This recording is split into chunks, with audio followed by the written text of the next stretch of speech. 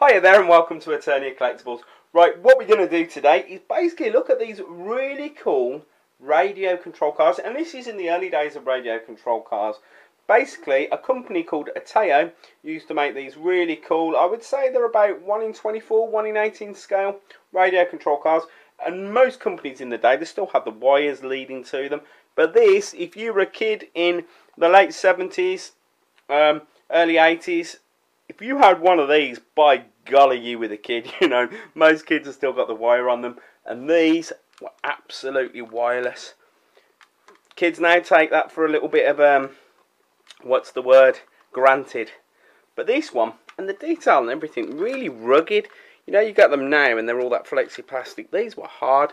This one here was called the Chevy pickup truck. The site is the box. It was made in Japan by Taiyo. It had a stop, reverse, whatever. Really nice. So that's what this was. And if I can show you here, what we have is, this one's in superb condition. It barely, I don't even know if it has been used. Absolutely stunning. It's got the power off buttons there. What's also cool about this, it had lights. Lights up there, lit up there. So you could put that on and it could lit. And then what you've got here is that slightly changes the traction so the wheels if they're out of line a little bit that would straighten them up. So that was pretty cool as well. So how nice. What this reminds me a little bit of is you know the back to the future pickup when Marty you know had a car? It reminds me a little bit of like that and I don't know if that was half what the styling wanted to be but really really cool. So if anyone sees any of these around let's say I think they date from the late 70s early 80s made by Taiyo really really nice. I've sold quite a few of these to be honest um, they do nice Porsches as well. I think they do some nice Ferraris. I'm unsure of the exact date. I'm unsure if it says it on this one. No, there's no date, unfortunately. So this is boxed as well.